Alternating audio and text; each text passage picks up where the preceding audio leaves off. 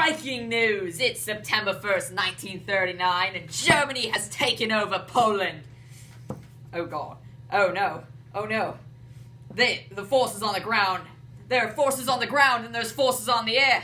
Our sources say that Hitler wants to regain German territory. And he just wants to rule over Poland in general, guys. He's setting up he's setting up camps and forces to get rid of anybody who poses their Nazi ideology. Okay, turned off.